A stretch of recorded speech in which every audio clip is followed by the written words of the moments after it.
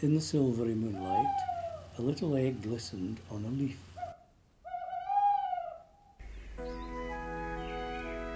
At dawn, things started to happen.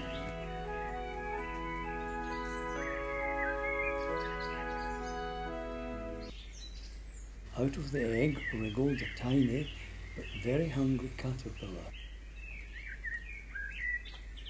He went to look for some food. On Monday, he ate some cucumber left over from a barbecue and he got bigger. He wanted to play with a ladybug. The next day, he munched his way through an apple. He now had lots of energy, and so he tried some sit-ups. and down,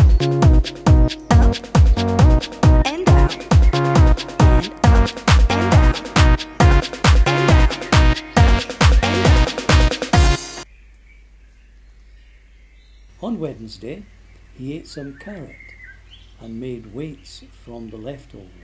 Mr. Apollo. He showed off his skills as his friends watched. Strongest man the world has ever seen. Pear was next on the menu.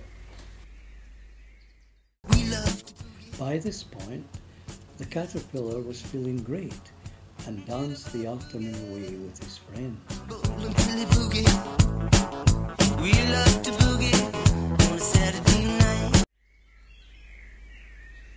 On. On Friday, he ate some peas and had great fun playing football with his friends.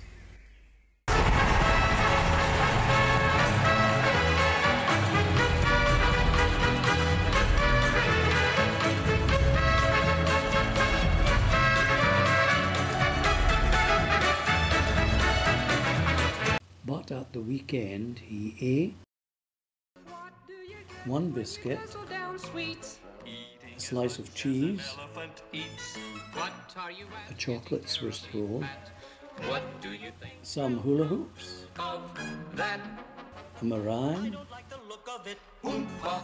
one chocolate truffle, some popcorn, and a whole box of Quality Street. Now, he wasn't a little caterpillar anymore. He was a big, fat caterpillar who felt very sick and had a sore tummy.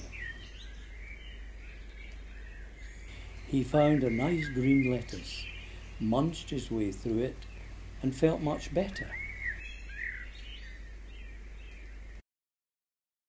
It was time to build a cocoon around himself. I started out He stayed inside for many weeks, and grew. I fluttered about. and when he popped out, he was a beautiful butterfly.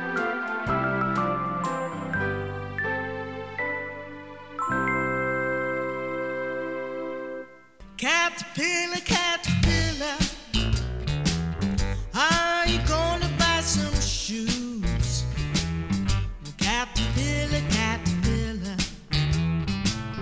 They must cost a lot for you. Caterpillar, caterpillar. Tell me what you're gonna do.